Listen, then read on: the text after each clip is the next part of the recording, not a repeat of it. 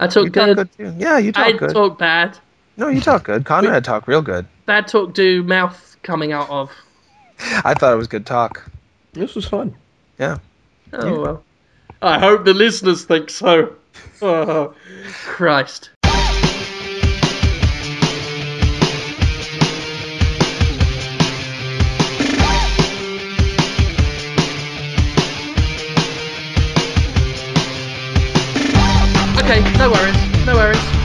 Worries. We can make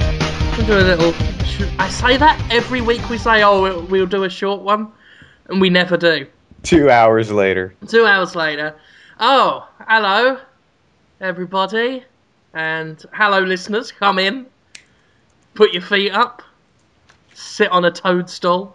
In, I think we've done the fairy tale forest idea before. Um, doesn't matter. Hello, Jonathan. Hi, how are you? How am I? Yeah. I'm Holmesy, Holmesy, Holmesy, Holmesy. So Holmesy, Holmesy, Holmesy, Holmesy. Today, Uh, that was to the, tune of "I'm horny." I'm horny. Hey. Yeah. I'm not horny. No. No, but I, I changed it to Holmesy because Horny has an H and an O in it, and, and so does Jonathan Holmes has an H and an O in it. Hmm. Practically the same word. I- a lot of things are happening that make me think I am the center of the universe today. uh, a Japanese man, according to Tumblr, is handcrafting a sculpture from a banana, and it's my face. He's crafting onto the banana. As it it just is. I, how does he know? We've I- never met. I see a lot of statues in life, uh, a lot of sculptures, a lot of things chiseled in marble, hewn in stone, wrought in iron, and I'm furious that they're not your face. Venus de Milo, furious. It should be you up there with no arms. The Thinker, I want you sat on a rock, punching your chin.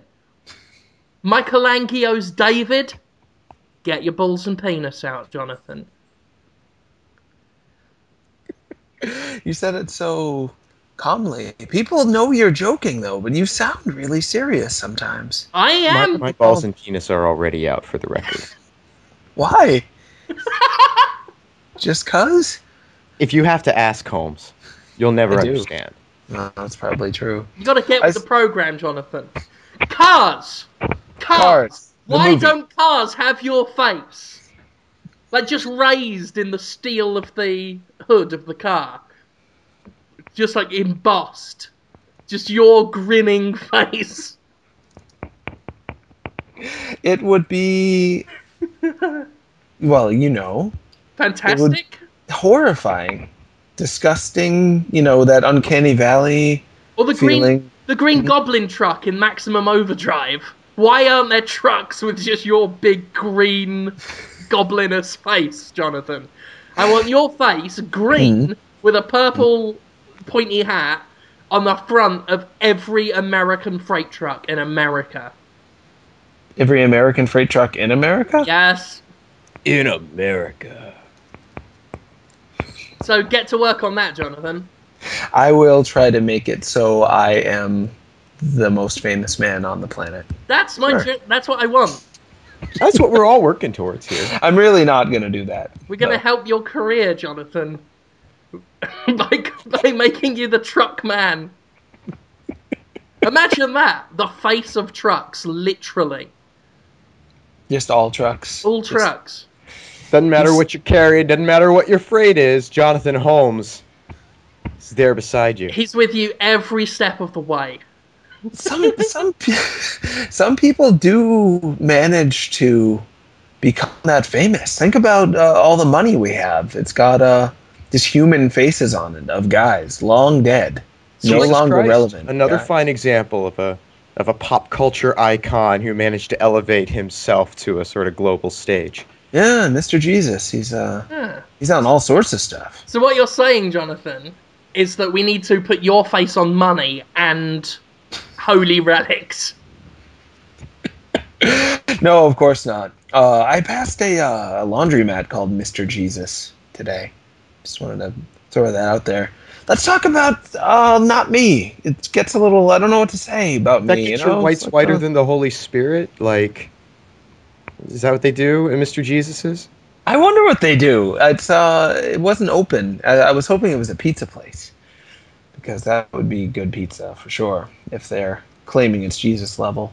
Is that immaculate dry cleaning? I guess I'll I'll go. I'll look into yes, it for you. do find out. I, I want to know about Mr. Jesus. I wonder if I'm even right or if I'm just dreaming. Who knows? My, my That's always the right worst.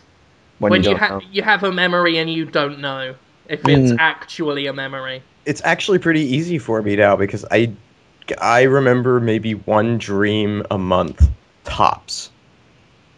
Really? How come? I have no idea. I just I, I mean I know I have dreams. My wife tells me that I talk to people and conduct site business in my sleep. What kind of business? Just I don't know, talking to Destructoid people site, about oh, like- destructoid shit. Yeah, In your sleep? in my sleep. Wow. That's incredible. I'm not surprised, but it, it is uh it's validating. that was an Because you- insult. How was that an insult? Oh, I'm not surprised the way Destructoids run that you're doing it in your sleep. That's what you just said, Jonathan. I, Son I, of a I, I bitch. thought I meant that Conrad is so, you know, into it, into the job. It's getting so much done. I don't He's think he's it's at an it so. Inuit. It's American bred. Yeah, my, my heritage is actually is German. Are you German, Zimmerman? Zimmerman? No, it's Conrad Zimmerman. Oh, he's not German Zimmerman. Mm, Where is the whole new gone? problem we've got on the podcast Um, this week. Yeah. Yeah, this episode started poorly, uh, and has reached a level of mediocrity that I'm not comfortable with. Well, maybe we should talk about some video games. Let's do that. Um, uh, okay. I just got the uh, Hitman HD trilogy actually that just showed up like moments before the show, and so I, I popped it open while you were sitting there talking about homes and religious icons, and um, It's more or less the same thing. yeah, right, it's gorgeous. Like just the packaging is really, it's a really nice presentation. Hmm. Uh, they did an art book thing with it, and they incorporated the game case into the art book. So you pull the cardboard sleeve off, and you've just got this, you know, kind of nice hardbound book, and you pull it open, and it's got your pages with the art book in the front and your game discs in the back. Oh, that's nice. Yeah, it's really quite lovely, and it's very stylish. It's got the the, the cover is this sort of um, uh, silhouette of Agent Forty Seven, black and you know his red tie coming off, pointing down, forming the eye and the hitman. It's just a really, it's the sort of thing I'd like to put on a shelf. Actually, it's classy, That's cool. I might have and to then buy it's got that. actual game manual and codes all loose inside. So you know, Yeah, just just tumbling out everywhere, yeah, but uh, stained with a bit of semen from somewhere. really beautiful. So I'm looking forward to seeing if the uh, the you know HD game is as nice as, as the package that they put together. It's quite pretty. is, uh, what's the art like in the art book? Oh, let's see here. What we got? Yeah, it's uh, uh, a really creepy face with guns and knives for teeth. There's an axe in there, like this What? demon head thing. It's the the caption says "A dance with the devil."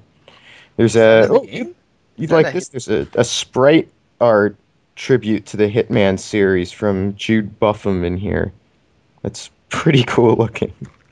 Sounds Uh, yeah, just some really cool like poster designs and uh, all sorts of neat neat stuff. These really beautiful art, actually. That's like I don't know how many pages that is. It doesn't. The pages aren't numbered, and I'm not gonna count them. But Seems like more than ten. Oh yeah, yeah, quite a bit more than ten. Like maybe 15, 20. Yeah, But that's sure. double sided, so you know. I, I don't know. That's cool. Is that out yet or not? Yeah, it came out yesterday. Uh huh. Um, you know, so the review copy showed up. They today. rush that, Oh. rush that out to you. Yeah. Um, Well, it always worries me too. I mean, you know, it's, I, I can't ever tell if it's because sometimes stuff from Square Enix just takes a little bit longer for them to get it out, or if they're afraid people are going to hate it when you know it's this to the wire or the day after that we get the review copy. Yeah, it could go either way with them. I think they just don't care. really, they they just they'll shove it in, just throw it in the mail whenever, which is fair enough. They were thoughtful enough to send me an email letting me know it was coming like a week in advance. So talking of art things, Mhm. ten art books for Fire Emblem Awakening showed up here today. What? I don't want any of them. I want all of them. I mean, they're not art book books. They're kind of. I mean, I'd say that's it, ten. If I'm being generous, ten pages, you know, folded over for double and then stapled through. So they're almost like a cross between a book and a pamphlet. Mm. I don't know why they're here. Is it ten of the same book slash pamphlet? It's all the it- same. Oh, I thought there was ten separate ones. No, it's all the same. There's an em- slightly embossed cover raised up. Um, whole bunch of characters I don't know because I've not played the game yet. None of them are you, Jonathan. So I'm fucked off about that. I'll. That's a series I'll never. I'm looking in the book, Jonathan. Mm-hmm. Let's have a look. Fire Emblem Awakening. Okay. First page, we've got Chrom. Uh, it's not your face. I'm furious. Uh, Marth on the second page, Jonathan. Uh huh. It's hard to tell because he's wearing stuff over his eyes, but I can tell from the colour from him. Not to be racist, it ain't you, Jonathan. I do have a off white sort of color. yeah, he is. He is whiter than me, and I'm a pasty fuck. That's So, pretty white. It's it's whiter than white. It's so white. Mr. Jesus cleaned his face himself. Uh, it's not you, Jonathan. I Right. am at this point livid. Scroll over, Sumia. Now, as much as I'd like to see you in suspender stockings and a very, very short skirt, Jonathan, it's not you. I am beside myself with rage. Frederick. On the next page, not you. Loads of hair, not Ugh. you. Terrible. Disgusting. I am, I am wretched right now. Those are attractive. Uh, not particularly uh, original, but definitely imaginative designs. Uh, Lon'qu, Lon'qu, Lunku. a swordsman raised in Regna Ferox, where Kahan Basilios has vouched for his skill. Not his skull, his skill. While cool and curt around most people, the very sight of a woman turns him beet red. That that description sounds exactly like you, Jonathan. Uh, I was I hopeful. I mean, you are you're a, a fame. Your your sword play is renowned throughout the kingdom, especially in Regna Ferox, and Khan Basilio speaks very highly of you in our conversations. Um, and of course, you're you're famous for turning beet red whenever you see a woman, even if she's 500 miles away and you look at her through a telescope. You go bright as red as a beet. Uh, but it's not you. It's this Lon'qu prick who's clearly they based him on you, but it ain't you. He looks that much like me. I am. He looks nothing like you. He just. I'm. Just, I'm saying that he's, he sounds like you, but he's not you. Disgusting. I'll never be in a Nintendo game. I, Next I do, guy, Mm. he's. You know, he's got uh, very tan skin. This is looking hope. Oh shit, he's got Super Saiyan hair. Ah, it's called Vaike, and that ain't you, Jonathan. Oh, turn the page. And we're gonna do all of them. Don't you worry. Sully! Sully! It's neither you nor the old pederast from Uncharted. It's a woman, and it's not you. Is it a woman or a. It's hard to tell the difference with some of these characters. It's not you. Nor is Cordelia on the next page. Grotesque. Nowi? Are you called Nowi sometimes, Jonathan? No. No, you've not got pointy el- elf ears, have you either? And you, you don't wear a bra with a tie, with a, a bra with a bow tie. She's wearing That sounds really cute. and two belts and hmm. nothing else. Who wears two belts? Two, that just enhances the nakedity. And she looks about twelve. Lissa, That ain't Jonathan Holmes. I'm annoyed. Churchy. It's not you. Churchy. She's That's the got, name. She's got a suit of armor with suspenders on for her greaves. She's got like the shin plates Uh huh. held up by suspender stockings, bare old thighs, full plate armor up top. That's just stupid. Why aren't you wearing that, Jonathan? I'm very disappointed. You're not Validar either. And that's it. That's the whole book. I throw it on the wall. And the Dang. others, the other ones as well. Woof. That was a, quite a plop. Fucking annoyed. no one sends me stuff if it doesn't have you on it, Jonathan. It's Did you get a. Hyrule Historia in the mail, Jim? No. You should get one. They If- should send you one. If they send me one and you're not in it, I'll burn it. Well, funny you should mention that. There is a character who I think people will think it's like me, kind of. He's got hair, but it looks like a toupee. And his skin is kind of gray, and he's got wild eyes and a big chin, but not in a handsome way, and like a he's he's troubling looking. Uh, he's an unused character from uh, Skyward Sword. This uh, Hyrule Historia book, actually, the first 60 pages are just Skyward Sword, so I hope you like Skyward Sword. I sure do. And he was going to be a guy who was going to walk around the, the city of Skyloft and clean it. And the, the details about him are incredible, such as he lives in a private home for two. He is a man who likes things clean. He is around 20 years old. He is OCD and sensitive, constantly shaking his hips. The dusters, are they in the way? Ex- yeah, this is the the stuff they're saying about this guy very seriously. Um, his pinky should not bend. The idea is to give him feminine hands without emphasizing the extended pinky stereotype. He uses different kinds of tongs to pick up different kinds of garbage. If he comes in, uh, he comes across garbage unexpectedly, avoids it in a dramatic fashion, and they show him like uh, somehow like backwards dashing with his ass uh, moving away from a little poop that he discovered, and he looks very. Uh, says even birds run away, and there are all these birds flying away from the poop in him. This is a great character, Jim. You should get up on this guy. He could have been the new Tingle. He But sounds they, uh, fantastic. Yeah, they cut him out. It's It's, a a, shame. shame. It sounds like they put a lot of effort and thought into him. There's like seven different designs for just how his tongs will fit into his trash barrel, and his butt is he's got slightly different butt wiggle designs. Huh. Check it out. Hyrule Historia. Buy it. It's always interesting to see just the amount of work that goes into just incidental NPCs and things. Stuff written down that you'll never really appreciate watching. Like, we, we're not to. If he was in the game, we wouldn't be able to appreciate that they worked on six different tongs. Oh And- no, you'd you'd see him for a second and be like, haha, and then run Yeah. away. You know, Yeah, they had that- rules about what his pinky can do. All that kind of stuff. It really makes you think, Jonathan. hmm It does. It, it's there's something very existential about that, Jonathan. There is.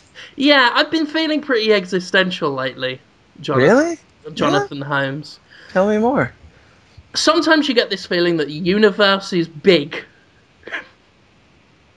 Don't you?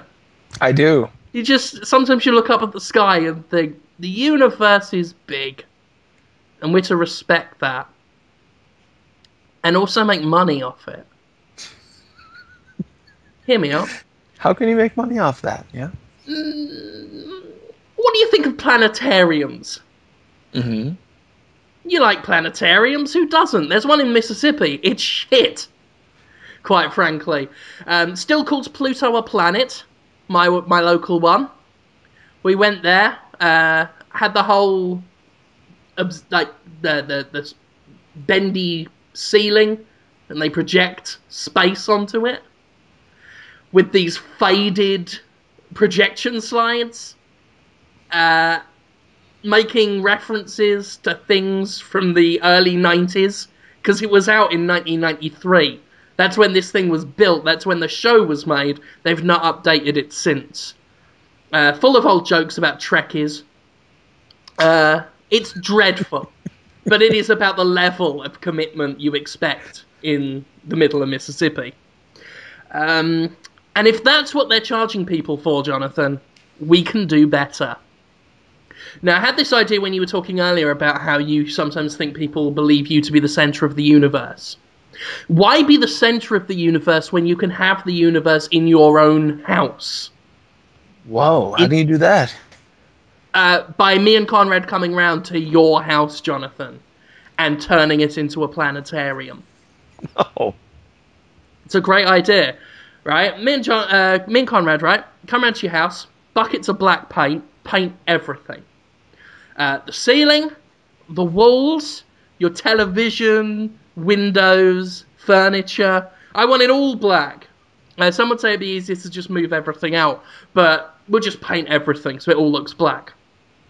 Uh, get glow in the dark paint. We've still got some left over from when I painted the ghost brick last week. And I've been thinking of a way to make of like because we want them painted like stars in your apartment. I was thinking of getting some homeless people, putting them in your apartment, and getting them to masturbate with their hands covered in glow in the dark paint. So that as they as they're furiously giving themselves the vinegar strokes, they're just splashing pl- paint off their hands onto your floor and ceiling and walls.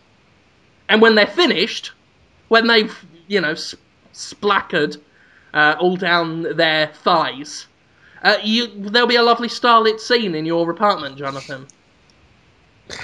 it's uh, people don't want semen on their ceilings and floors. Well, it's mostly glow in the dark paint that's been splashed off by the vigorous hand motion gestures. if if you're concerned about, you know, like how it's going to look, we could maybe get Neil deGrasse Tyson in there to make sure that you know everything is astronomically accurate. We could. We should. We should ask Neil deGrasse Tyson if he's interested in overseeing about ten homeless men masturbating in a dark room with glow in the dark paint, just to How are- see if it's a genuine um, space scene. Jonathan Holmes. Are the homeless men? What's their motivation? You just uh, just because they're homeless doesn't mean they want to be in my house masturbating with glow in the dark paint. I don't think. If we tell them there's meth in it for them, they will. Maybe there's a lot of home types of homeless people. Some people are just out of work. Yeah, but But those out aren't the ones we want. Yeah. I'm, We're looking for creative minds, artistic types that don't fit into the mold of society, Holmes. Mm, there's plenty of them too. These are the guys that turn their backs on society before society could turn their backs on them. They're thinkers, they're creators, they're builders. They live under a bridge. we go to, we we go under a bridge, Jonathan. All of us together, armed with hockey sticks with razor blades taped to them. I would advise. You know, gather around some of the meth heads and skag heads outside, like gathered around a burning trash can, and say, "Hello, lads. Do you want to earn some meth or some drink, whatever, whatever drug you want? Holmes can get it for you. He works in a hospital." All you gotta do is come round and pleasure yourselves. It's hardly work. Uh, just to help us get our observatory off the ground, our planetarium.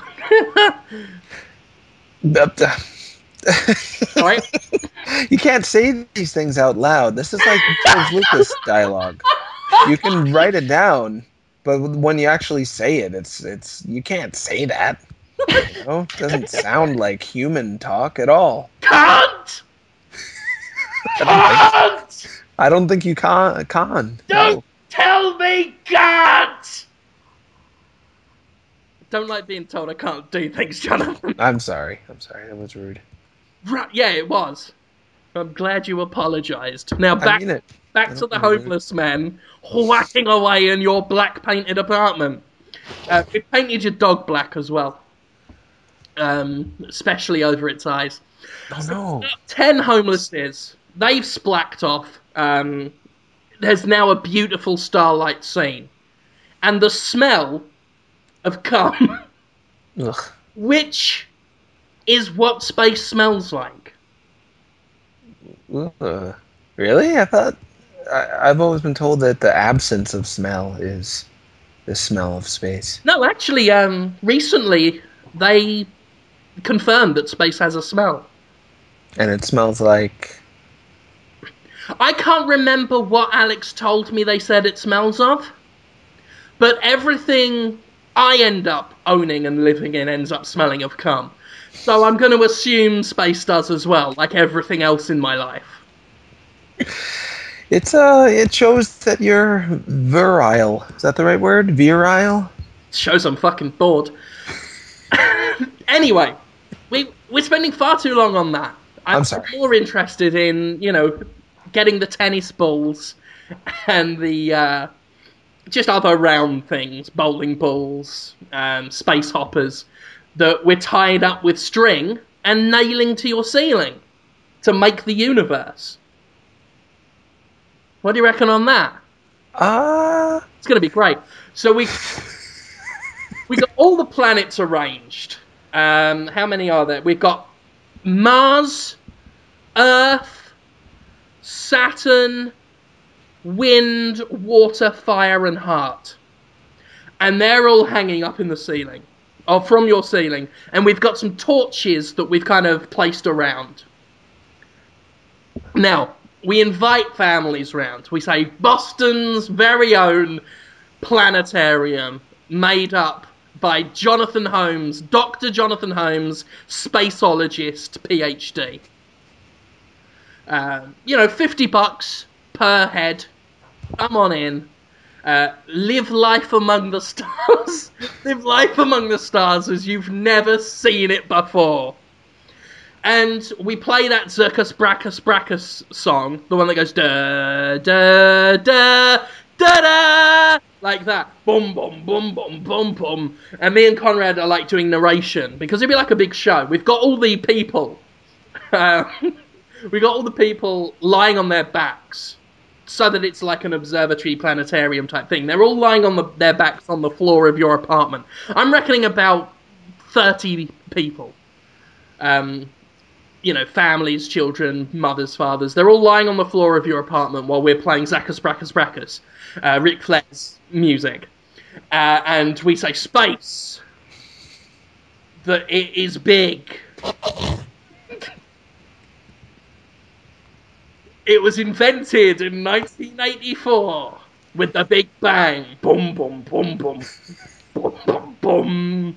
And on that day when there was nothing, Jonathan Holmes was born. Boom, boom, boom, boom. And you come out, Jonathan. 1984. You come out, Jonathan, uh, wearing a silver dressing gown and nothing else. Just a silver dressing gown. It's all closed up, so don't worry, no one can see anything. And you start walking grandly over the families while they're lying on their backs looking up. And you're like stepping over their heads. And we say boom, boom, boom, boom, boom, boom, boom. Jonathan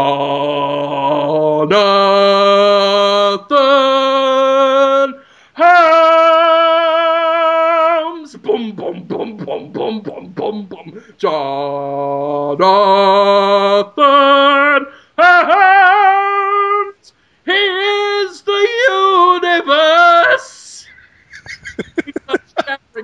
Conrad start dancing around you, showering you with rose petals. While you're like raising your arms and you've got your legs like really splayed open over the head of one of the patrons, and they're looking up at you and they're just mesmerized. They think it's fantastic. Oh, terrible. They've ever seen. And you look up in the sky and shout, I created the universe. I created the universe. While we shower you with rose petals and we're just going, Jonathan Holmes! He invented the universe! He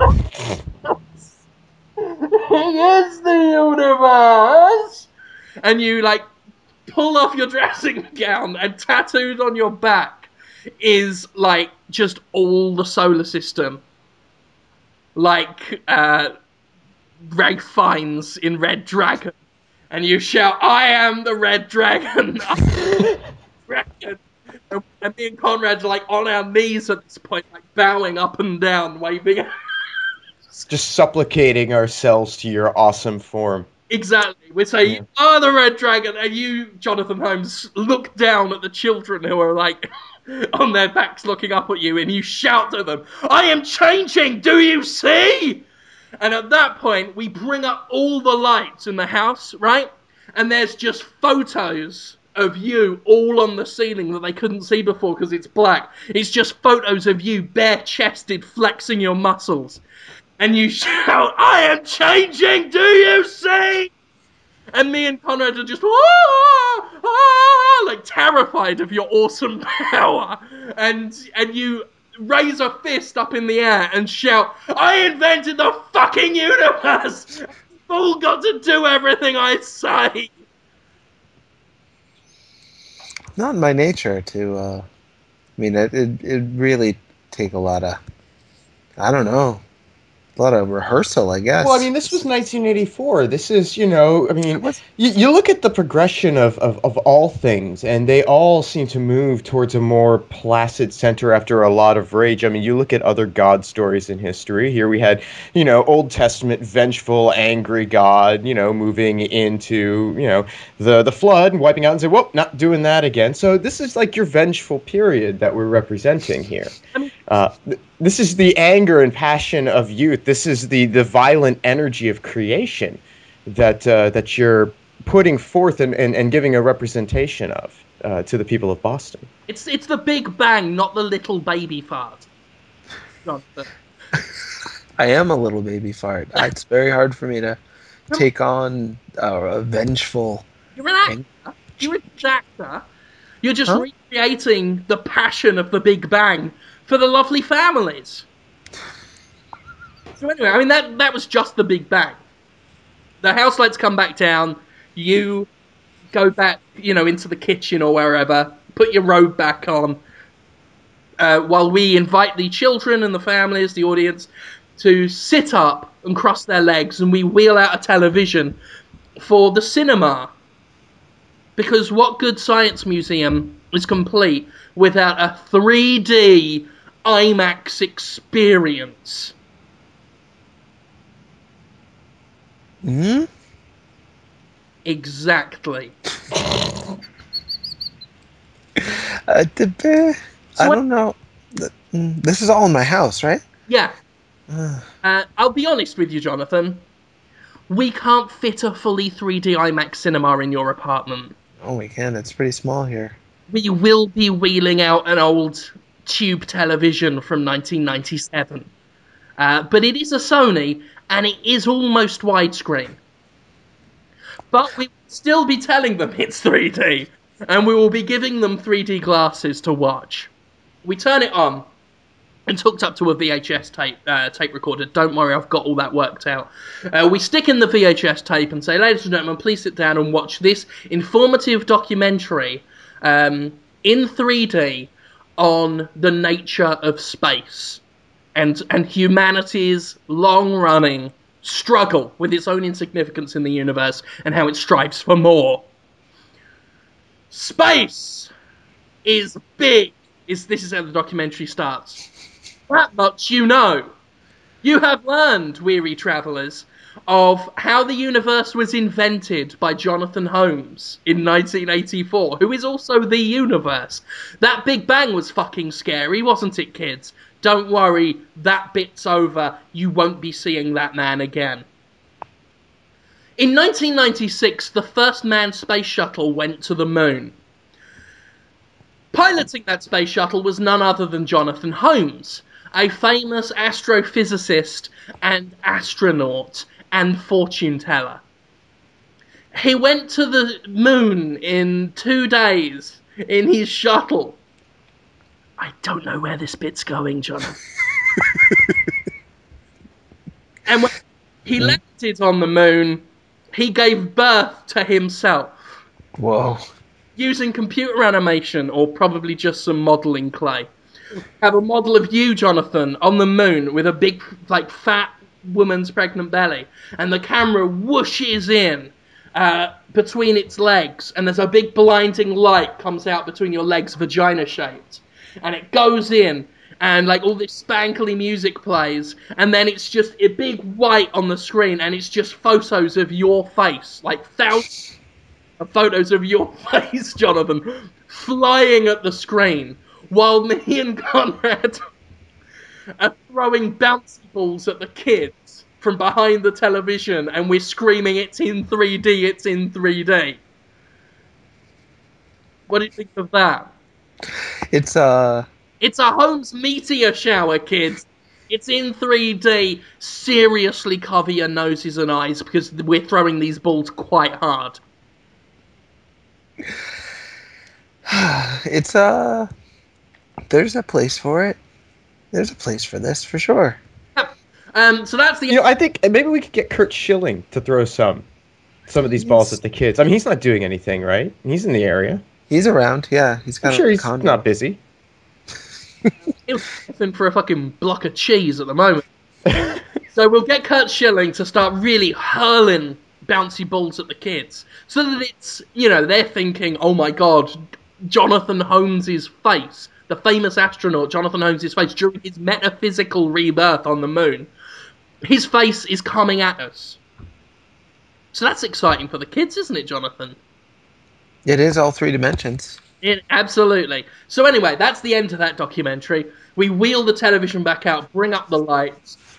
You, Jonathan, sit on the floor cross-legged, and we each give the kids a photograph of you, Jonathan, and you get to sign them. And that's Okay, sorry, yeah. I sign autographs for the kids, yeah. uh, who wouldn't want a signed photograph of the man who both invented the universe and gave birth to himself on the moon metaphysically? It was a revelation for you. You know, children believe things that adults tell them.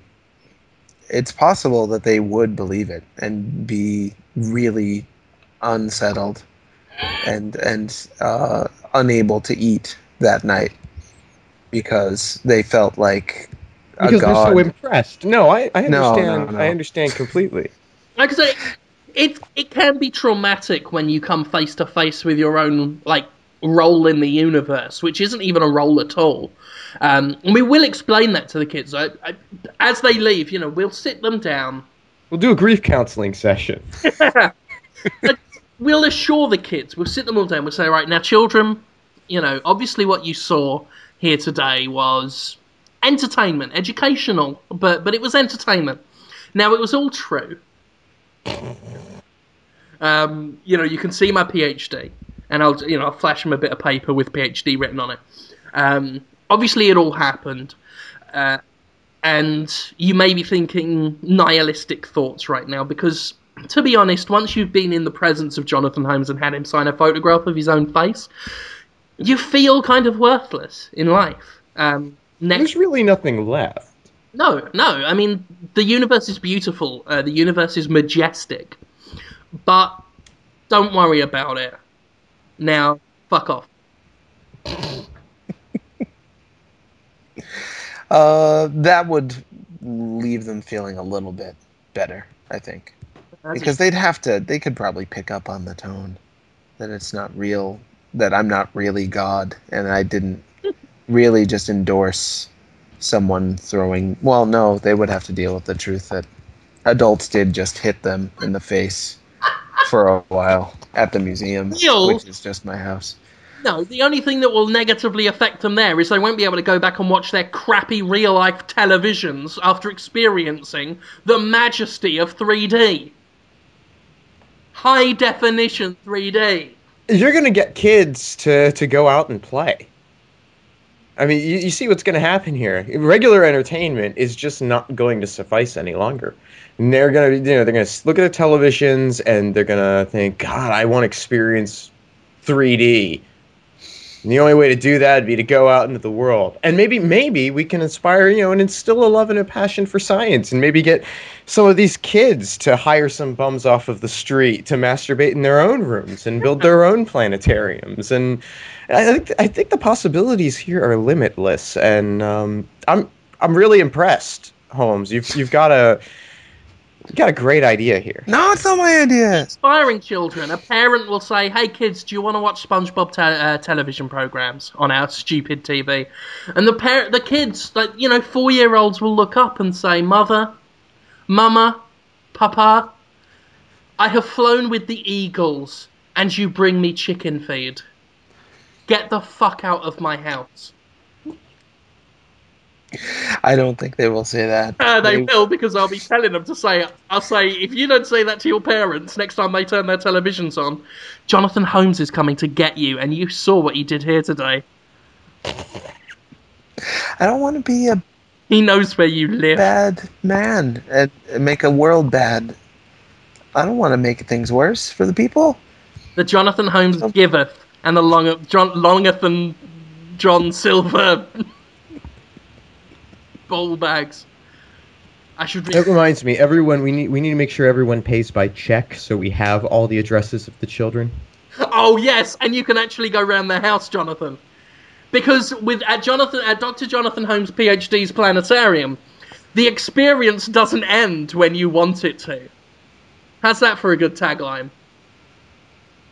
It's, it's just- How how is that value for money?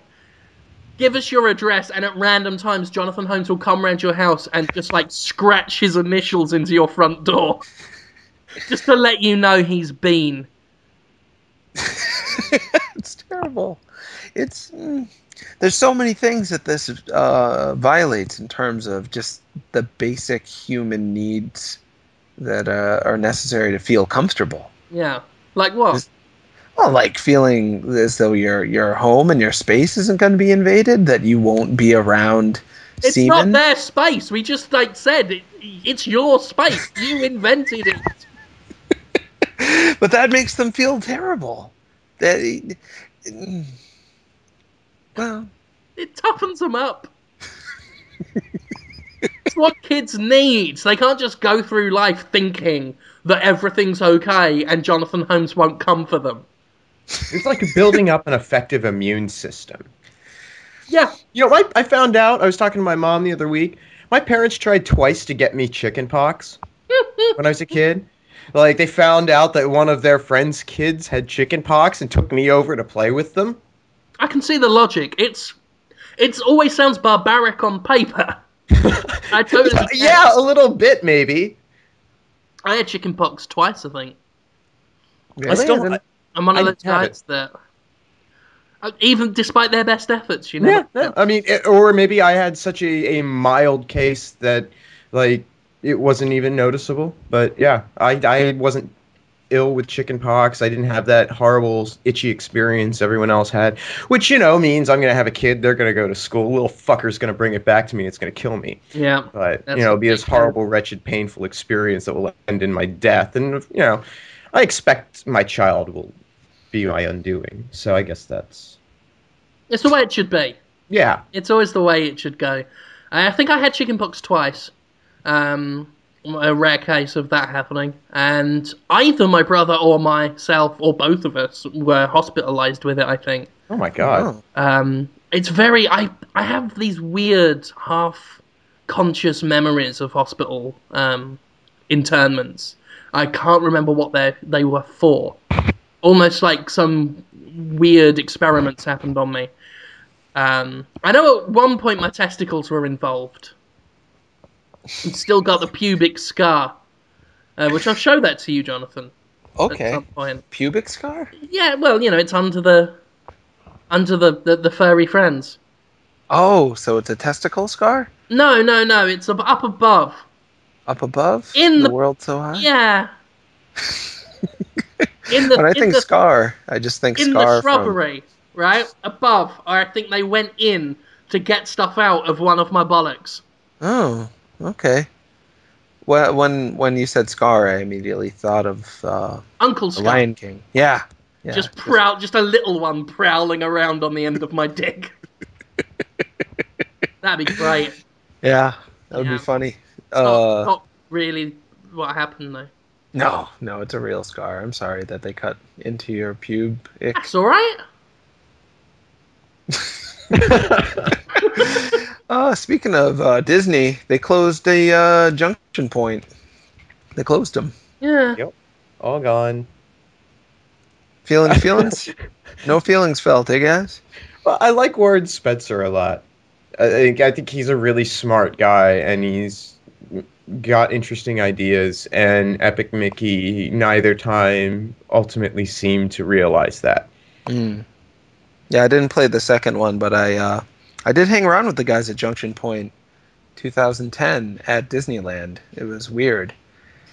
And they had some very interesting philosophies towards game design. They uh, some of the guys there went out of their way to play the worst games they could, but forced themselves to find something good about all of them so they could keep their minds open and sharp. Like they were really dedicated to kind of the martial art of video game design. It was pretty pretty interesting. But it was also weird that Disney was spending so much money on the marketing of their game in in a way that didn't seem to balance how much money they actually gave them to make the game. I can't remember if I had talked about this on on Podtoid before, but I was playing the game with them, uh, Epic Mickey, the first one. I was like, oh, it's it's pretty cool. So is there going to be like a different way to control the camera to make it like automatically like not go the wrong place? Because I just died a bunch of times because the camera was just. Mm. And they were like, uh, we're sorry. Yeah, game's got to come out now. They they like they knew it but they their hands were tied was the, the was the tone I got from it. I mean, it wasn't like a um, a very hard to find flaw. It's not like it didn't come up in playtesting, I'm sure, but they just had to ship it as it was. Yeah. And then from what I was told, Epic Mickey 2 didn't do much. Yeah, I don't know how that that. excuses the second one. really, the Ah, camera they- was was dog shit in that. Mm, Epic Mickey 2 was god awful. Totally god awful. Um, really was bad. Uh, that doesn't mean I'm happy that the studio closed, but at the same time, Spector's probably better off. Uh, Oh yeah, I think these people, you know, they'll. I mean, lots of them will go get jobs other places and probably get creative opportunities that maybe Disney wasn't really affording, or, or who knows. Yeah, I mean, Yeah. You, you compare what like the ideas they had, like the the thing that Epic Mickey was compared to the thing that Epic Mickey is. mm. I mean, it's night and day. Uh, you know, I, I I think most of that game's problems were all things outside of the creative department that the creative department probably didn't have any control over. I'm sure we'll never get the the full story on that, but I don't know. Working for Disney probably isn't the place for for people with real creative minds. it's such a shame because they uh, used to be. I mean, they called them Imaginarians or whatever they were called. It was all about creativity in the uh, the classic Disney days. It's sad. Yeah, I mean, I'm certainly. I mean, I'm, I'm more specifically talking Disney Interactive. Um, you know, the actual game stuff. Uh, just doesn't seem like they they exist really to be Imaginariums. Mm, I know. It's too bad. Maybe that'll change. Maybe this will cause them to change. I don't know. I don't know. Maybe. I don't know. The fact they just got rid of their most creative studio. Yeah, that's not that good of a sign, is it? Yeah, but they've got Skylanders coming out, or whatever it is they're calling their version. So Uh, Disney Infinity. Infinity, yeah. Yeah. Uh, I had the same reaction as everybody else. Not interested, not interested. Oh, Jack Skellington, not interested, not interested. yeah, but that uh, I felt the same way about Skylanders. but yeah, my my reaction. Well, my my reaction to this is just like my Skylanders was like, what the fuck is this? Who's going to buy this? And then everybody bought Skylanders. Oh yeah. And so I look at Disney Infinity. I'm like, what the fuck is this? Well, it's gonna sell a shit ton. Yeah, Like that's uh, there's no, it it will make so much money. I mean, I think it's mostly because I actually was a big fan of Skylanders from the outset and still really like it. Uh, Right. And I so mean, I'm kind of annoyed. Well, ultimately, Skylanders turned out to be a, a really pretty good product. On top of that, now if they can create a product that is on the level of Skylanders in terms of quality, you know that sandbox thing they've got looks really cool. We'll see. Uh, and then with the properties and licenses that are in Disney's control, I mean, I can't imagine it not doing phenomenally well. yeah. I, I think uh, again another thing that diminishes my interest is just the characters they're going with. They're a lot more contemporary outside of. What the fuck is Bolt doing there? Why is who who why are they still pushing Bolt? Bolt was a bad idea from the beginning. Which one even was that? He's the That's little the- white dog. Is he electric dog or is he a fast Yeah. dog? He Oh. Oh, fast. right. Mm. Yeah, like it's it's all contemporary stuff, which is fine. It's all quality stuff, but it's not the stuff that really resonates with myself. Um, and I'm not saying it has to be stuff that resonates with myself. They're not going for me. Um, but if they were to have some of the older, more classic stuff, I'd probably be a lot more into it.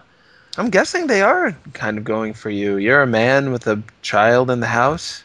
They they're thinking, oh, this will be something for a guy to buy that he'll like and his kid will like it. The old Sesame Street effect. I don't instead- know. The kid here isn't really Disney either. His Mm, he really likes the Skylanders stuff, but something tells me he probably won't be so into the Disney one.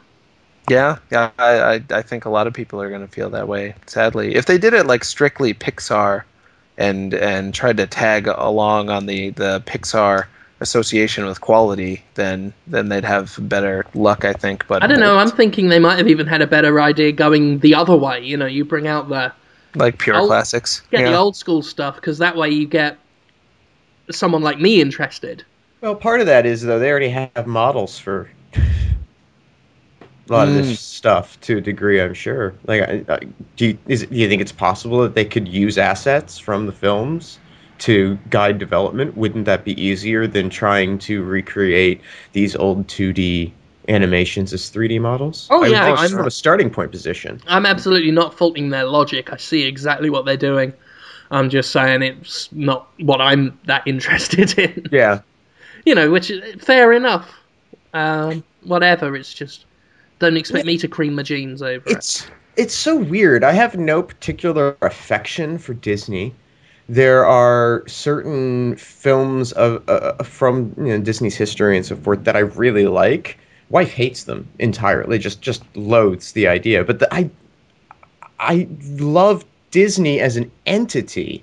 Hmm. Uh, in the early years, through to I don't know, maybe about the last fifteen years, where it was like it wasn't that they sold uh, entertainment products; they sold an entertainment experience. And so, like, you would go to Disneyland and or Disney World, and it was all about customer service. That's what they sold you. Mm. It's always what they sold was customer service and the Disney experience. And so the games haven't matched up. Well, lots of the product offerings haven't haven't felt like an experience in a really long time. Um, but I just don't. It's a brand name. They own a ton of great stuff. They can market to all sorts of different audiences with everything, and they're they're becoming a uh, a media conglomerate on the level of Sony, Mhm. slowly but surely. Mm. In many ways, it's it's up to other people to pick up the slack, which I feel I do with you, Jonathan. Uh, where pick up- Disney has stopped becoming an experience for children, delighted children all over the world, I am an experience for a delighted you in in Boston. It's smaller scale, I grant you, but Wait, I'm delighted. but but tsunamis come from the smallest steps in the ocean. That sounded philosophical.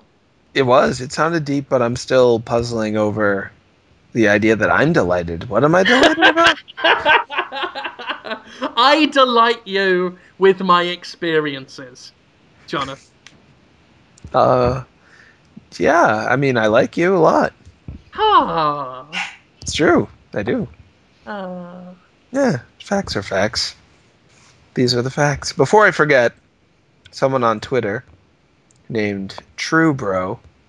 You can follow him at Original Bro. oh yeah.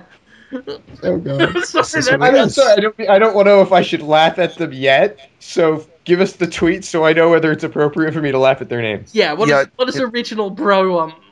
He says, My great grandma turned 102 today. If you could say happy birthday to her, it would be cool. See now, now you see, I would feel really shitty if I had laughed openly at original Yeah, bros. But he wants us to say happy birthday to his grandmother on the, the homeless men masturbating with glow in the dark paint podcast.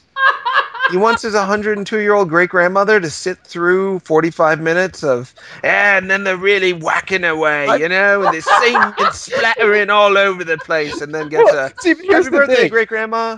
He could have Jonathan queued Holmes. it up to this point and just, you know, gotten the birthday message out. But now you've ruined it by referencing. So now he's gonna have to dance around the segments where we talk about his his his uh, grandmother. Oh Yeah, my god, it- you've it- done. Didn't give his real name either. It's just he's gonna come up So to he his didn't give us her name either. Yeah. So I he's wonder- just gonna make this poor woman. I wonder if she calls him True Bro or Original Bro. You you are 102 years old today. Um, and here here is what your life has been leading up to. Madam, Is is he in the room? Call the police.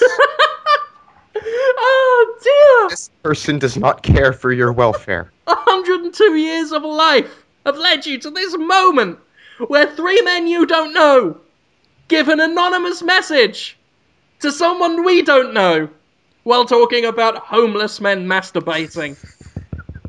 You survived the war for this. Two wars, I think. Two wars. Mm, two world wars, yeah. Yeah, that's not even counting Iraq. No, that was kind of a, a, a smaller scale, but it was a war, absolutely. Not to diminish it. Yeah. So anyway, I wanted to do that before I forgot, but I can ask questions. We can do a short show today. yeah, I I could do with with jetting off actually. Okay. So yeah, let's do some questions. Ha- happy birthday, by the way. I don't know that we actually Bros. said that. Grandmother. Dude Hap- did ask. It was very sweet in a really strange sort of way. Happy birthday Yeah. to you, original Grand Bro. Oh, and Jonathan Blow just announced that Jonathan Bro. John that uh, he feels that a lot of the games that are getting critical acclaim are the equivalent of dog food, and that video game journalists are just smiling and nodding with mouths full of alpo, alpo, al, alpo, um, grinning as they eat this terrible slop. Man, he really makes people mad when people Here's- say that. Here's a response I have. Uh huh. Of course he said that. That's all I've got to say on that. I'm glad he said it. I would, uh, you know, he's putting himself in a position where he's got to make something really good now, and hopefully that'll motivate him to make his next game even better. And uh, I like Braid. It's a good game.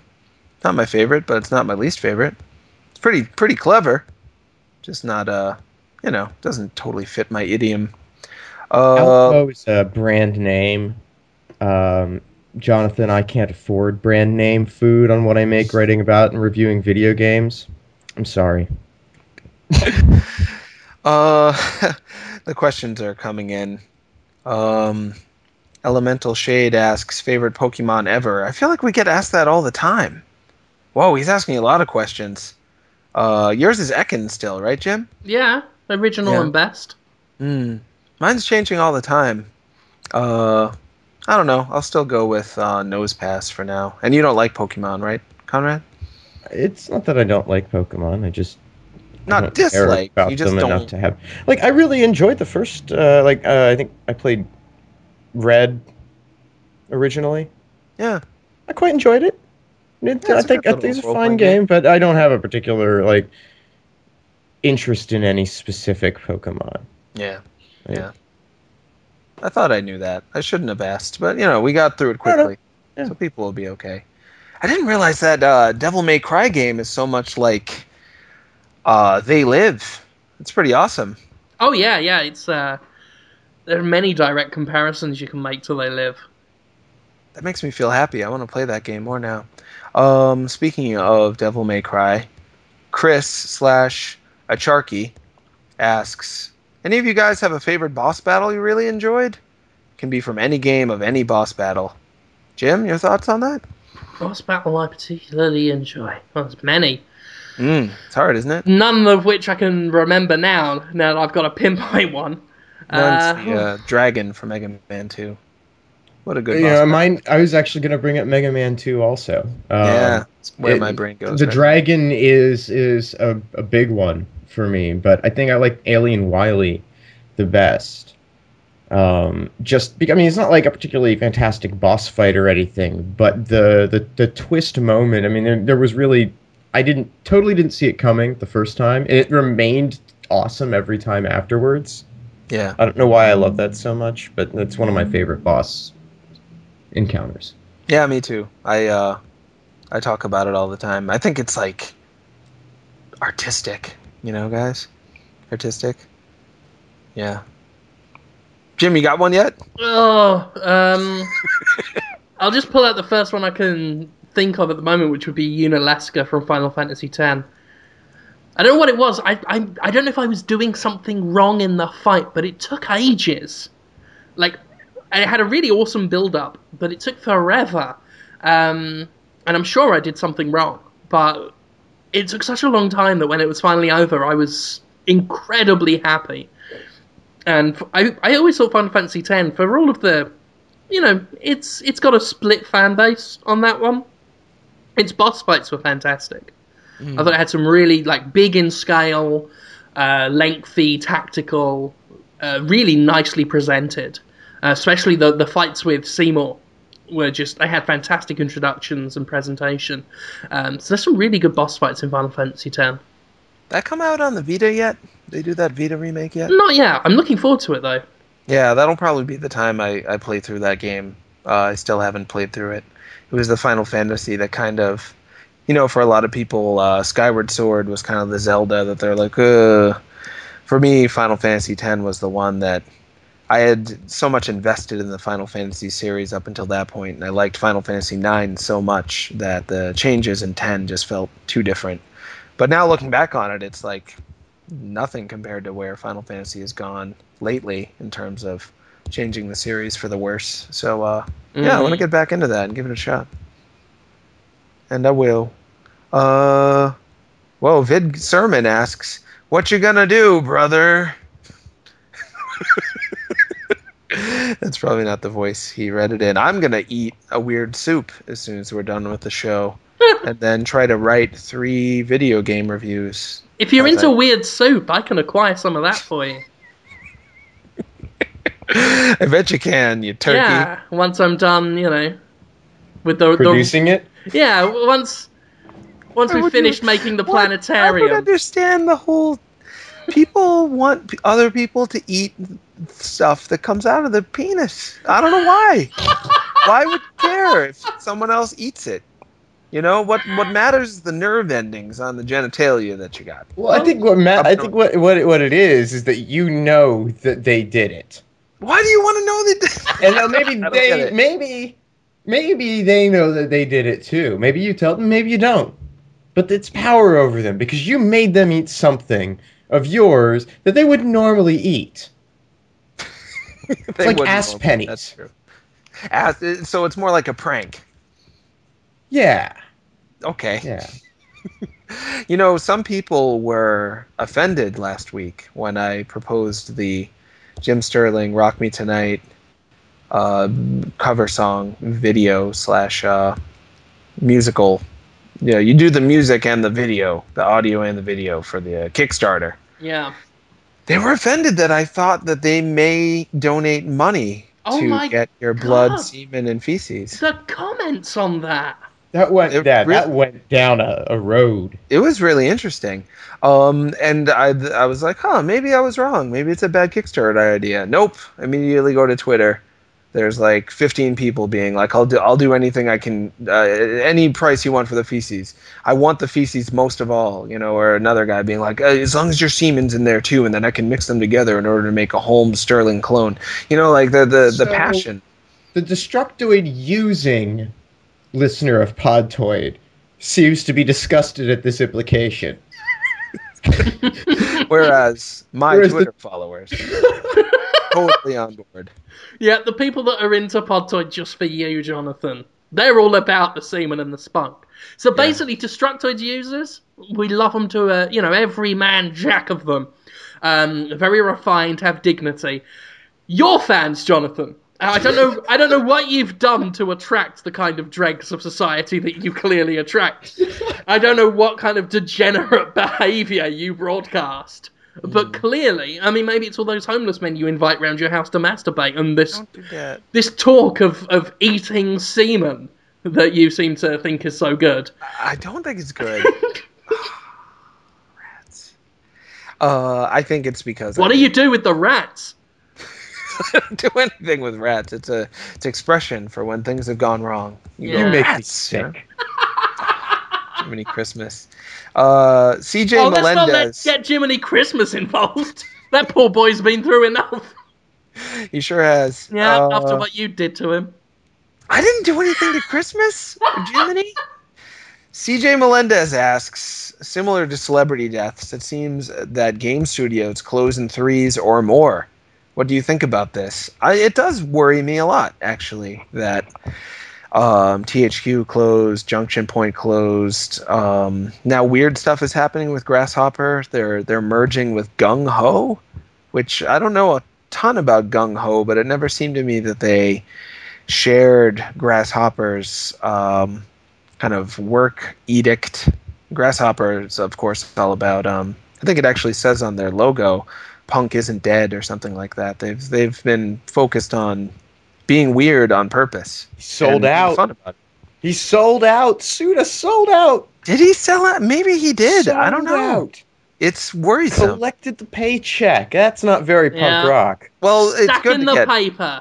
There's well, the the uh, Putting Yeah, on a Sex suit and tie. Pretty soon we'll be saying, dude, I was into Suda like back when he was cool.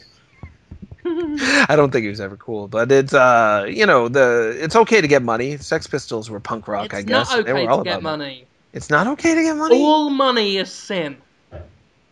Property is theft. Uh, So give me your house, Jonathan. I am worried that all these studios are closing. Um, I'm worried that better and better studios will start to close, and hopefully I'm wrong. We'll we'll see. A lot of it's going to depend on how the next Sony and Microsoft consoles do, how much they cost, and how much they cost to develop for, and how they go about getting games to people and making sure that the customer feels cared about. Because if they don't do that, if Sony pulls another seven hundred dollar console, six seven hundred dollar console, that will be bad for them, and and worse if Microsoft follows that route. Well, so I don't think Sony's. I don't think Sony can do that. At this I hope so. I hope Uh, not. the economy's in the shitter Mm. as it is. Uh, it, it's going to be hard. It's going to be a hard sell, I think, for new consoles in general. Like we're ready for them, but I don't know if the market at large is ready to spend hundreds of hundreds of dollars on more consoles. You know, at the rate that we're used to seeing console launches be successful.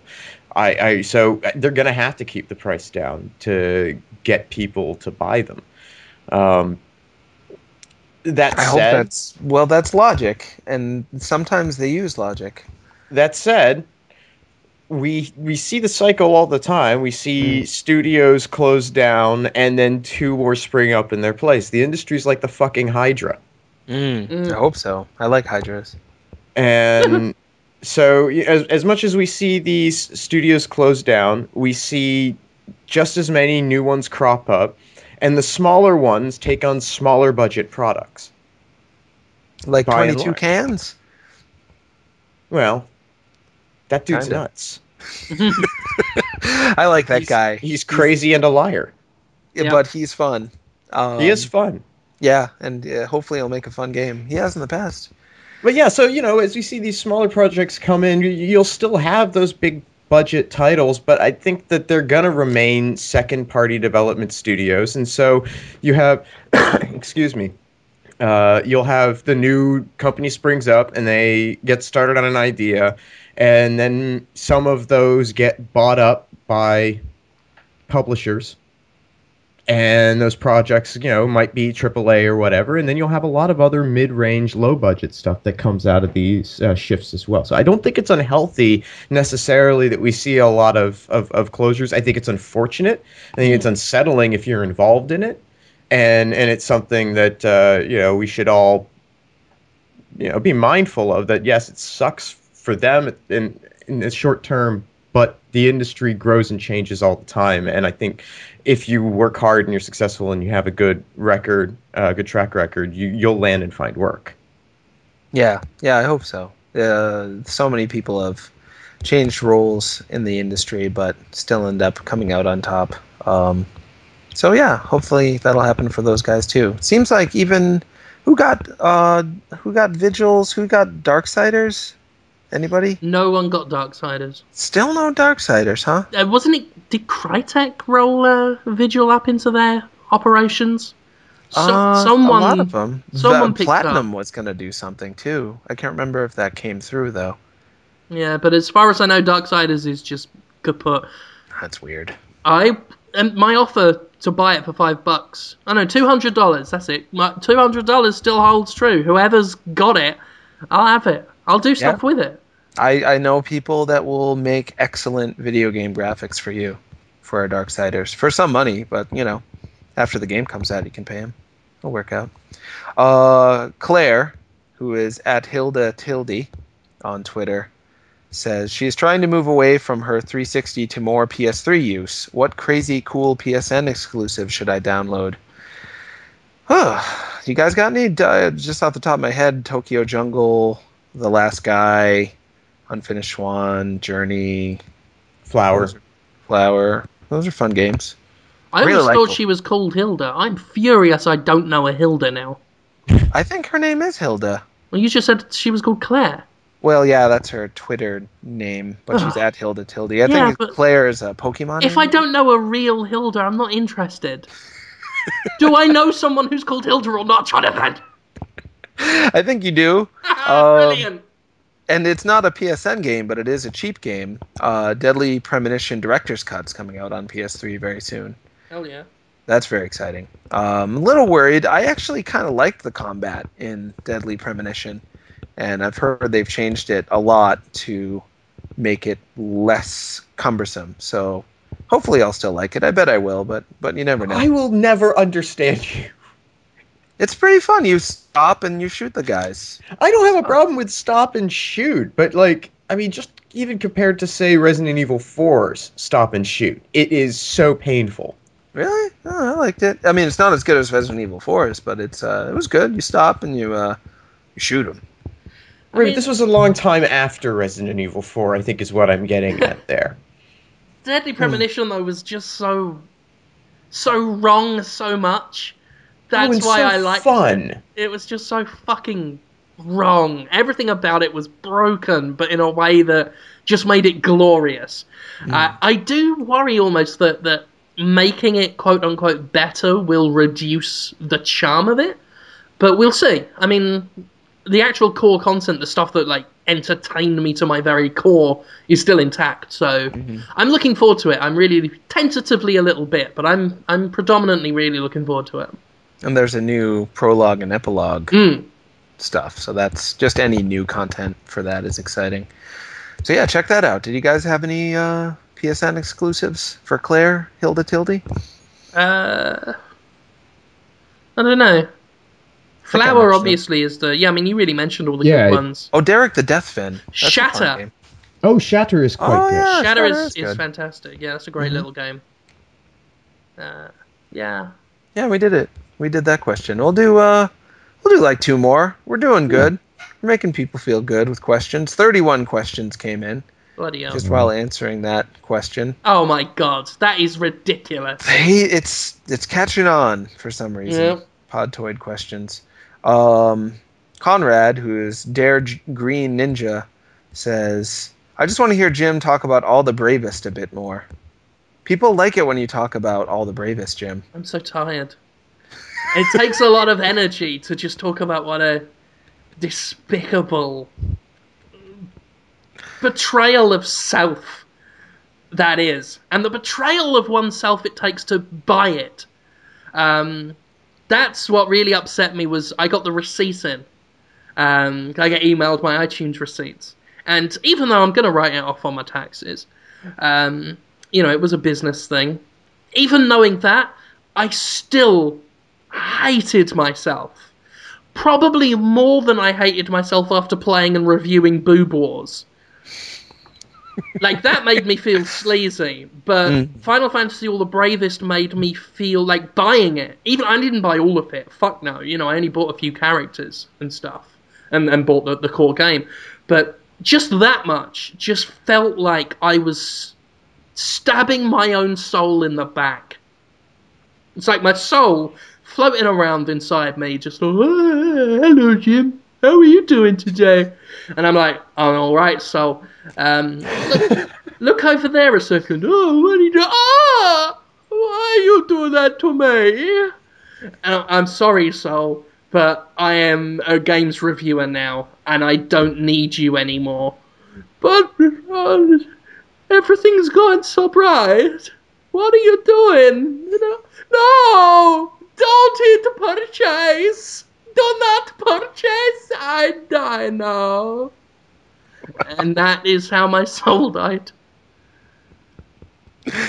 Yeah, it's uh it's a scary game. It's a horror game to me. uh because I used to love Square Enix. They were my favorite um game developer outside of No, they were my favorite for a little while there. I think was we like, all went through that phase. Yeah, but they're really my least favorite right now in a lot of ways. Um, the stuff they're churning out internally, they're publishing a lot of good stuff from other people, like um, Sleeping Dogs and whatnot. But mm, yeah, pretty scared. Hope they don't keep sucking. Yeah, it is almost at the point where, I mean, they they're all right as a publisher. Maybe Final Fantasy would be better served in someone else's hands. You yeah, I wonder. wonder I'd rather see someone else working on it. That's a weird feeling, because that's it is them. Yeah. Oh no. If they gave it to Mistwaker, I mean Mistwalker, or however you say it. If they just gave it back to the guy who made up Final Mm. Fantasy, that would make me feel a little more hopeful. I mean, I get that what I'm saying is a total blasphemy, but Square Enix itself is has just become this heresy as a concept. Mm. It doesn't really matter what I say about it anymore. Uh, so give it to someone else. Well, I think that wanting it, it's not a heresy uh, in that the people who made Final Fantasy really what it is aren't there anymore, and it's people who are kind of suckling at that. It's a weird suckle. Um, I guess this will be the last question. Eat fooder on Twitter. Uh, my answer to that question is yes. That's his name. Yeah. At Eat Fooder. Who would win in a fight between you and MC Hammer? Oh no, wait, I'm sorry. Some stupid twit. We can choose which one of these fight questions we want to answer. Um, I don't know. And in terms of who, I don't know if he means me or you or uh, or you, Conrad. Or or some stupid twit also asked if you and Jim got in a fist fight, who would win? I think I we've talked. I think we've talked about fighting before, me and you. We have. I think at least. I mean, that it was. It's more or less the same question of of when we were talking about me trying to have anal sex with you. Oh right. It's very much a uh, how long can you last? it's all it's all in that. It's like the cheetah in a way. You know, the cheetah has this supreme burst of speed, which makes it very deadly if it can get its prey in that small window of time.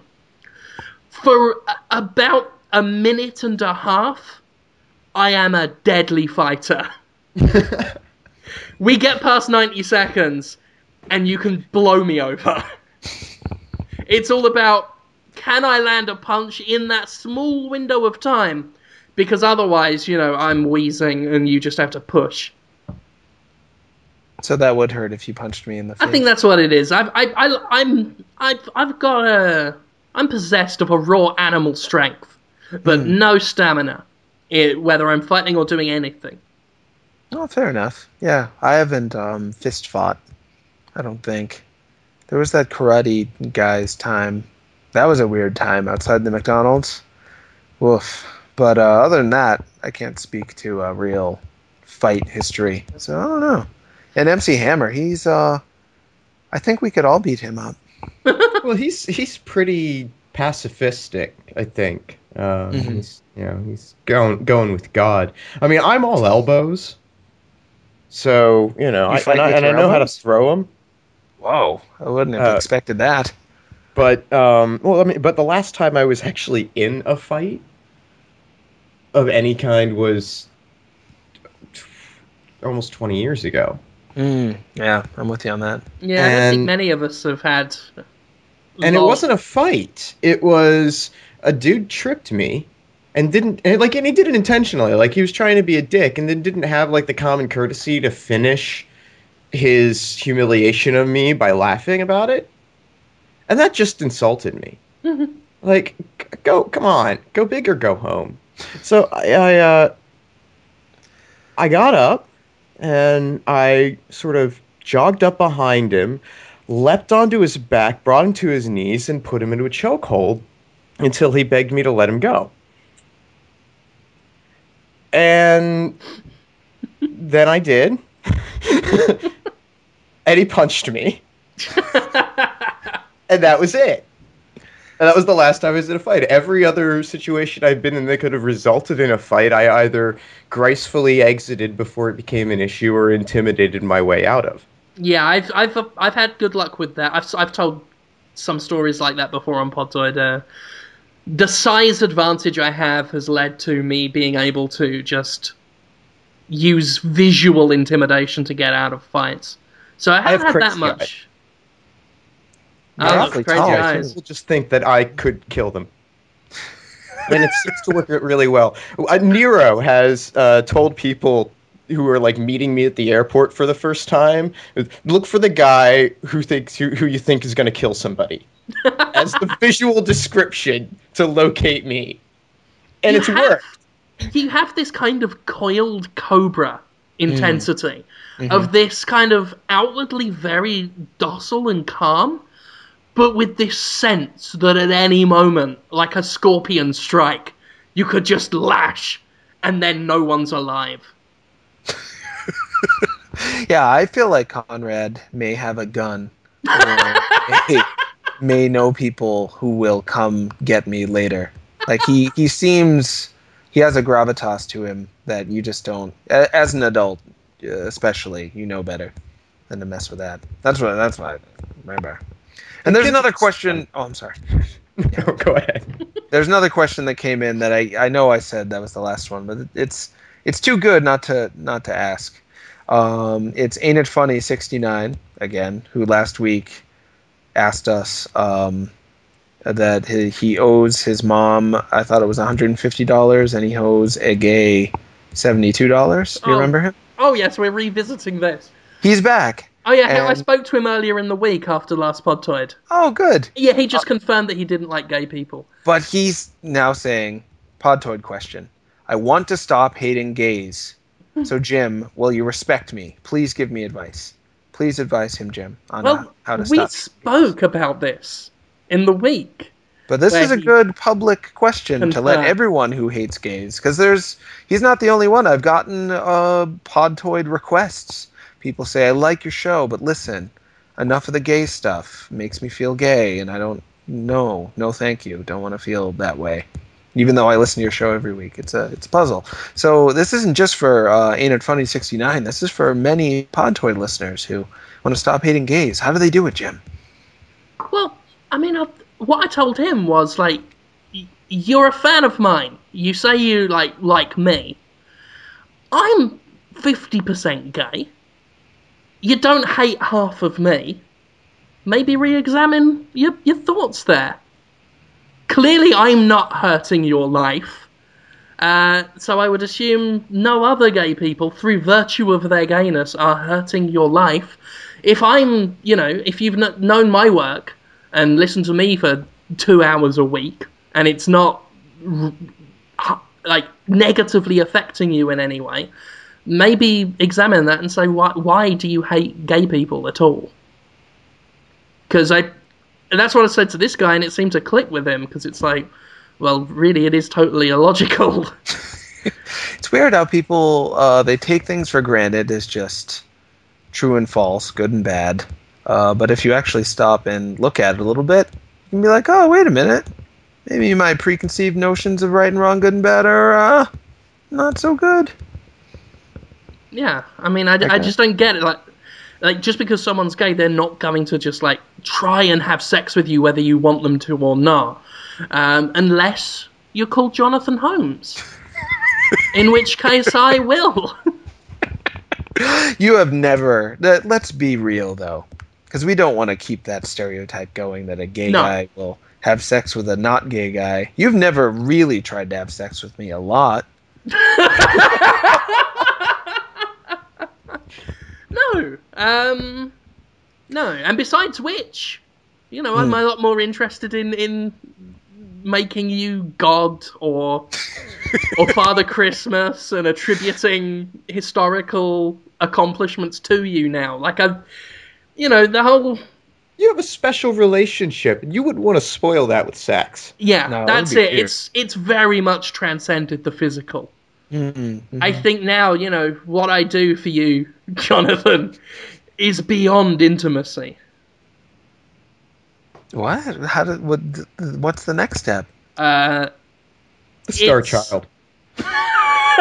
Like astral projection or some sort of weird. it's, it, it's an astral something. Uh, you. Uh, it made no sense. No, I enjoyed it. I did.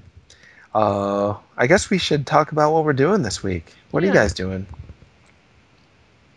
Should I start? I guess I will. Yeah, go on, why not? Yeah, sure. Uh, we had uh, Davey Wreden. Uh, is that how you say it? Wreden? I believe so. Reading, yeah. Okay, hope so. He made the Stanley Parable, and he was a delightful guest. 24 years old, spoke with the age and wisdom of uh, a grandpapa. Boy, was he smart, and and uh, his priorities were right in the right place. He's really making stuff for the right reasons, and he was really funny, and humble and insightful. And his game is also funny, humble, and insightful while being smart. It's hard to pull that off. Uh, we talked about how he managed to make a game that is about a lot of kind of high concept things, but doesn't come off like it's likes the smell of its own farts. And through comedy, simple guys, be lighthearted. You don't have to be so serious all the time about your highfalutin smarty pants games. But anyway, he was a great guest. You can listen to that on iTunes and watch the rerun on Destructoid uh, TV. And this Sunday at 1 p.m. Pacific Standard Time, Eastern Standard Time, we have Niels Anderson, I believe is his name. Niels or Nels? I, I'm not sure on that. I wonder if it's Nels. I'm gonna find it might out. Be Nels. I think it's Nels, and I hope it's Anderson. That's an important part of the name too. Uh, It, it, it, it's, it's spelled Anderson, but it's actually Kerflunk. that would make me. feel Yeah, I terrible. go figure. he made Mark of the Ninja and Shank. He didn't make it by himself, but he made some other really smart games that uh, aren't so much about the message the way Stanley Parable is, but they're still design brilliance. And he is fun and going to talk about how his studio went from getting some recognition mostly for their art style and for the fact that they were bringing back kind of a Streets of Rage type brawler with Shank to Mark of the Ninja, which just blew everyone's mind in the way that it brought the stealth genre back to two dimensions and did such elegant things with it that that uh, it was getting 10 out of 10s. We gave it a 10 out of 10 on the site. Um, we'll be talking about all that and whatever he wants to talk about. I'm very excited to have him on. So that'll be this Sunday live on Destructoid at 1 p.m. Pacific Standard Time, 4 p.m. Eastern Standard Time. And other than that, I'm going to try to finish all these reviews. So look for my reviews on the site. Hopefully, I can do them. How about you guys? We got a whole bunch of video content that's been going up like all this week. It's pretty cool. Um, A whole lot of content in general. You guys Yeah. are going nuts. It's going crazy. Um, so Spencer Spencer Hayes went out uh, around San Francisco and asked people which Dante they preferred, and it's really funny. Sure Uh. So you want to you want to go check that out. Uh, we'll have an episode of Office Chat that's probably out by the time you hear this because I just got it back. Uh, so it's going to be uploaded shortly. And uh, on that, I'm with Jordan and uh, Brett Seidler, and we talk a little bit about um, the uh, Wii U Virtual Console 30 cent stuff, which is pretty cool. Uh, what they're doing there, and um, the Dead Island, the Dead Island misrepresentative uh, trailers Oh, right. Yeah, I thought that was pretty interesting. Um, but with that had to be what was said there. So anyway, doing an office chat, and uh, got some other stuff that's almost ready to go, and I, will probably do something with this uh, Hitman that I just got. So look for that too. And that's me, I think. Oh, and Saturday Morning Hangover this weekend, we're to play uh, Skulls of the Shogun, which just came out. That game is great. Yeah, people are loving that game. So yeah, that's uh, Saturday morning, uh, 10 a.m. Pacific, uh, 1 p.m. Eastern uh, at dtoid.tv on Saturday. Yay. That's it. Awesome. Um, yeah, all sorts of video stuff's gone up. It's it's been cool to see it. It's like because you know, Destructoid's always been um, doing well. It's always doing well, but it hit this big peak a few years ago of just masses of content. Then it went back to a kind of standard level, and just recently, it's like someone's attached jump leads to its nipples. Uh, lots of stuff, lots of activity. Um, as for what I've been contributing to it on Destructoid, I recently did an article called Plus Points Sony's PS Plus Humiliates the Game Industry, uh, which has done very really well. good article. Uh, really thank you. good article. Um, yeah, I mean that's gone up on Reddit, uh, NeoGaf, N4G, everywhere. Um, fucking hell, two thousand shares over on the and four hundred eighty tweets on that. That's Wow. that's not normal. Um, but awesome. People really. Can you imagine? Like, it, I did it in about an hour. I had a spare hour, and because I was going to do a, a news story the day before that um, Chris or Jordan had already done. Um, I just thought, well, that's there was some stuff I wanted to say about this, so I'll just I'll whip up a nice little article on it. I didn't expect, given the subject, much. You know, I thought there'd be some. I thought it'd do some nice, get some nice reactions and stuff, but wasn't expecting that. But that's cool. A lot of people still talking about that, so do check that out. Uh, what else did I do? I reviewed Boob Wars. Uh, Why did you? Why did you review that, Boob Wars? Why did you review it? why do I do anything, Jonathan? I think we've established I don't think about things. Um, I thought it would, because here's the thing. I think a lot of people, when when Tony first brought it to people's attention on Destructoid, they thought it was going to be like a fun fighting game with just silly boob jokes and stuff, and, and then some sex. You know, they thought a lot of people said, well, when I heard about boob wars, I thought, you know, you get a, a woman with the flat chest, you get a woman with the big breast, as is the the subtitle. They fight in a fighting game, and then they get off with each other. But it's just a lot of, of creepy rape in real life. Um, why has it always got to be that way? Why? I, I'm not against cartoon sex, Mm. but it's always got to be rape. And I, why? Why can't it just be? Let's have sex. Let's just have some great sex together. Um, but instead, in Two consenting an- animated characters getting their swerve on. Yeah. But here's the thing: the uh, publisher saw the review and got back to me, and I have to respect this. Their their answer was try this one. What? They had a different one. They have a different one, which, and I've actually spoken to someone who's a fan of H games, who was actually quite happy I reviewed this and said they said it was a shame I didn't try the good ones that aren't all just rape and very weak excuses of gameplay. Um, so I'm very tempted to try this one out. Um, it's not, you know, that direction with the sex apparently, and it's a lot more. Starting down a dark, terrible path, Jim. And it's a lot more Phoenix Wright like, apparently. Okay. Uh, so I may check it out, but it, I, I, Conrad's right. It's not a path I want to go to too far down. You know, um, we're trying to review different things at the moment. We're, we're we're trying to see, you know, what readers are interested in. We know everyone's interested in the big stuff, but what else do they want? Um, speaking of, the Euro Truck Simulator 2 review is going to go up tomorrow or Friday. Uh, Oh, good. fingers crossed. I've made good inroads into that, in, into the writing of that. Um, so hopefully that'll go up very soon. Uh, there was some other cool stuff, but um, it- over on the Escapist, I did this week's Jimquisition uh, called "Breaking the Bones of Business," which has also done very well. That ties in with the whole microtransaction, Dead Space, Final Fantasy All the Bravest, all that kind of stuff that's been in the news right now. Um, so that's cool. And also, uh, by the time this uh, Pod, Podtoid goes up on Destructoid's front page on Thursday, a new movie Defense Force will be out on The Escapist. Uh, that's my movie review show. This week I'm talking about Waterworld. Uh, so that's it from me. Awesome. I Yeah. can't wait to hear what you say about Waterworld. That's uh, a movie that I can't help but enjoy parts of, but to hear you give it a full on defense will be quite interesting. My wife really likes that movie. It's a great film. It really is a great film. I'll have to watch. shot. I'll have to watch your episode to uh, to try and get some some justification for that because it's it's an interesting film. I I find it interesting in terms of like the product the production and the cost that was required and and how like the story around Waterworld. I'm curious to know more about. Mm, mhm. Yeah. But I think that's why doesn't it got a lot of hate. Was a lot of people hate it because you know it ruined Kevin Costner's career, etc. Uh, and I think a lot of the hatred it gets isn't related to the actual film.